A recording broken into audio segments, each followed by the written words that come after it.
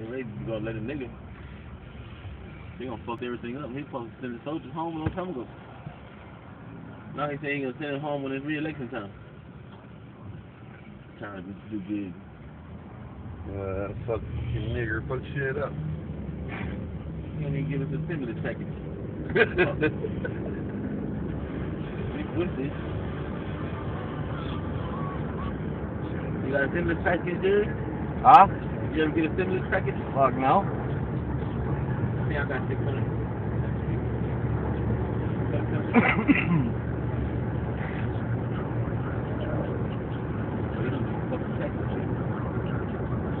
Yo.